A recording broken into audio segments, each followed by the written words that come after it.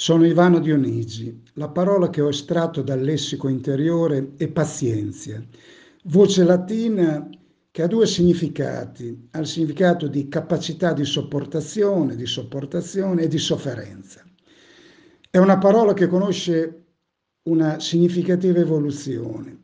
C'è una prima fase, che è la fase classica della grande epica di Omero e dell'Iliade, cui tutto è un inno alla guerra, all'eroismo, nel segno della forza, della sopportazione, del coraggio e nel nome della gloria.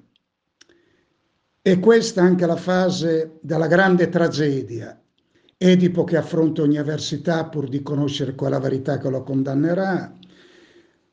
Antigone che sfida con il sacrificio della propria vita le leggi scritte della città e lo fa in nome di quelle leggi non scritte dalla fratellanza ci sono Medea Fredera, donne determinate, coraggiose, temerarie, che infrangono i legami e i limiti della natura. Sono donne senza freni, sfrenate, e frene, dice il latino. Tutto avviene nel segno della natura e del contronatura. In una seconda fase, a questa esaltazione delle grandi passioni, del grande pathos omerico e tragico, subentra la filosofia stoica, ovvero il dominio delle passioni, quella che viene chiamata la pazia, l'assenza di sofferenze, l'insensibilità. Soffrire e piangere per questa filosofia non sarà più degno dell'uomo e della sua ragione.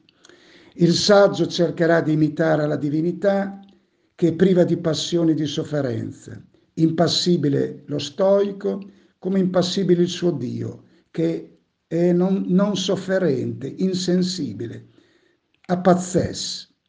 Infine la fase cristiana, la rivalutazione e redenzione del dolore, della sofferenza.